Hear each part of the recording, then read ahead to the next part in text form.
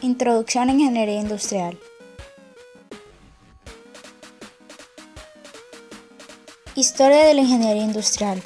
La ingeniería industrial surge como consecuencia de la revolución industrial, la cual inicia con la invención de la máquina de vapor de James Watt en 1769.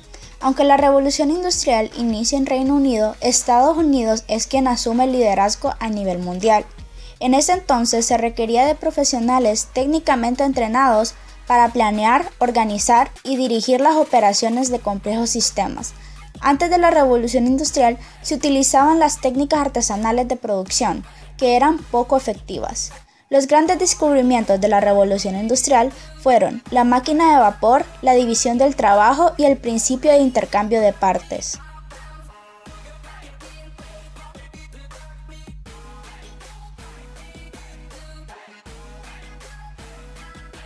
Perfil del ingeniero industrial. Un ingeniero industrial debe de ser emprendedor con enfoque local y global, capacitado para diseñar, implementar, gestionar y mejorar un sistema integrado de recursos, ya sea humanos, tecnológicos, financieros, materiales, energéticos y de información, y procesos que se deben optimizar. Debe de fabricar productos u ofrecer servicios de calidad. Su objetivo debe de ser de aumentar la productividad y competitividad en la industria a la que se dedique y debe de contribuir al desarrollo sostenible y la transformación de la sociedad.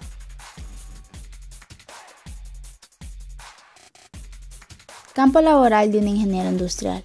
Este puede trabajar en la industria de manufactura y servicios, departamentos de gestión de calidad, procesos y mejora continua, departamentos de gestión de operaciones y logística, departamentos de automatización industrial, áreas técnicas de las instituciones gubernamentales, empresas de su propia creación y hasta en el sector de la salud.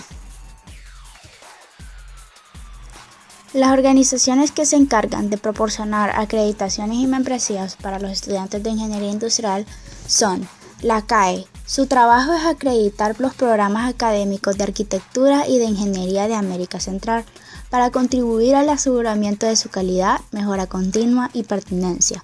También se encuentra el Institute of Industrial and System Engineers.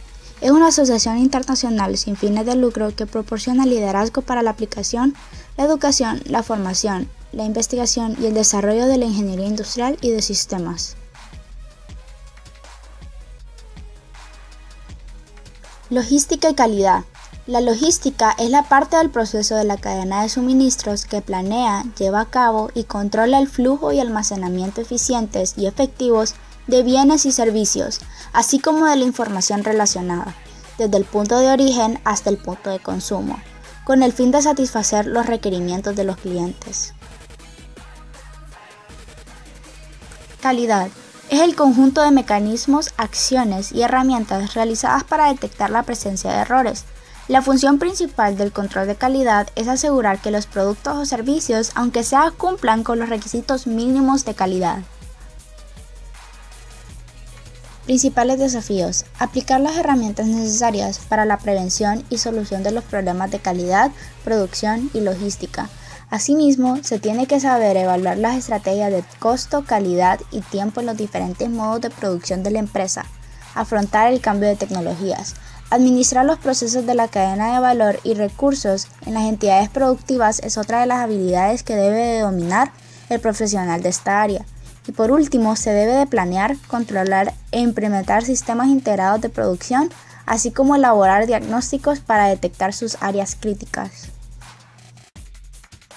Estrategias para afrontarlos. Tener clara la gestión logística nacional e internacional que le permita innovar, diseñar y administrar sistemas logísticos e insertarse exitosamente en mercados competitivos y globalizados.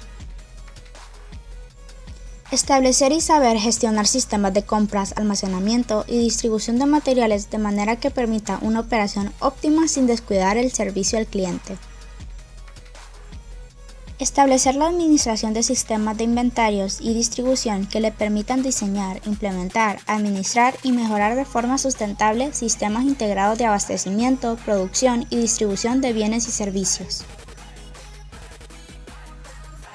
Me despido con esta frase. El conocimiento es el menos escaso de los recursos. Entre más se da, más se produce.